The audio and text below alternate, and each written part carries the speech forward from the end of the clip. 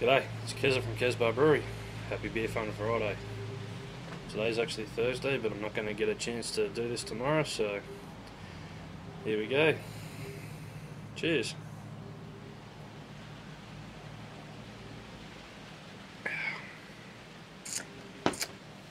That's one of my mates' Amber Ales. That's actually bloody nice. Wow. That's all I can say. Wow.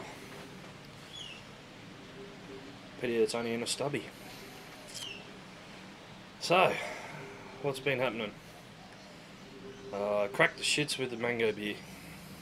Now, it's been sitting at 1 degree Celsius in the fermentation fridge for about a week and a bit, week and three days, so it's still not clearing.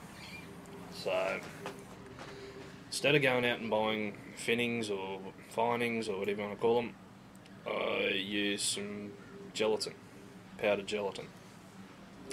So I mixed it up in about 200 ml of water, uh, pasteurised it, and tipped it in.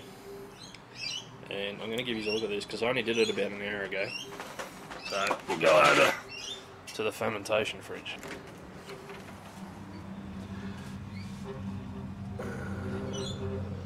You see it all clumping up?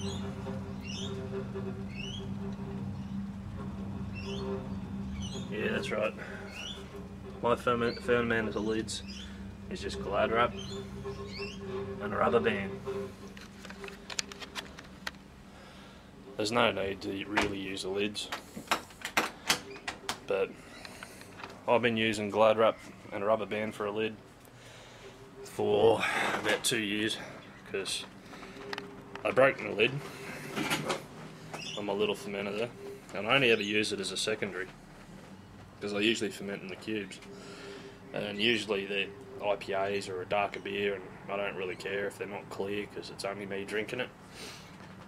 But uh, this one is going to get sent a couple of places in Australia a couple in New Zealand and uh, a couple of guys are lucky I might even get some over to America so depending on the cost to send it over there so I've heard sending to New Zealand for three tallies or three stubbies, sorry, so three thirty, three three thirty mil bottles costs about forty bucks, so it's not cheap.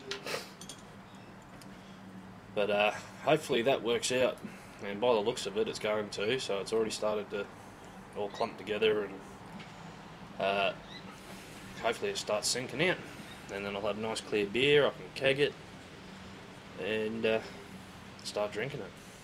I'm going to bottle it straight out of the keg, so straight out the tap into the bottle. Um, I'm actually going to have to go and get a capper. I might have to uh, hit someone up to borrow theirs. So, uh, might as well keep it short. Uh, Jay Elder, thanks for the shout out, mate. You're, uh, you're a bit higher gravity than you're expecting on your brew day, eh? Um, Tiny, looks like you had fun the other weekend, mate. Uh, thanks to all my subscribers. Check the guys out and down in the description. They're all members of Bubbles and Chalk. They all have YouTube channels. They all have videos up. So check those guys out. Send them some love. And uh, we shall see you next time on Kezzbar Brewery.